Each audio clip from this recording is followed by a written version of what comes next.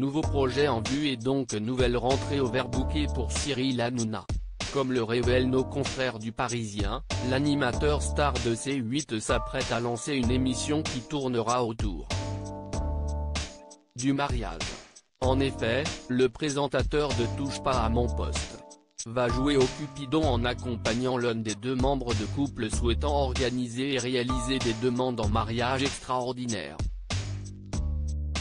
Le tournage de ce format est prévu pour mi-septembre, pour une diffusion d'un prime time en direct avant la fin 2021. Avec Donne-moi ta main, Cyril Hanouna va donc avoir énormément de pain sur la planche puisque ce dernier rempile également à la place du chef d'orchestre de TPMP.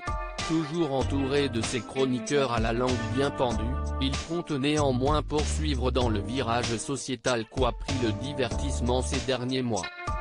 La politique et les élections présidentielles devraient aussi être souvent au cœur du talk show.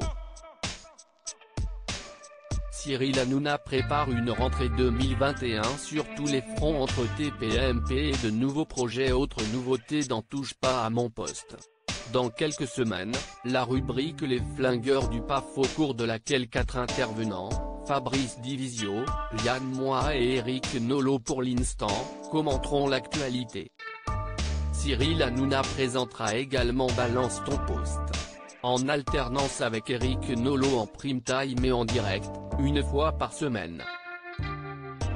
Enfin, l'Hyperactif travaille une autre émission politique où il recevrait les candidats à la présidentielle, les uns après les autres puis tous ensemble, face à des éditorialistes.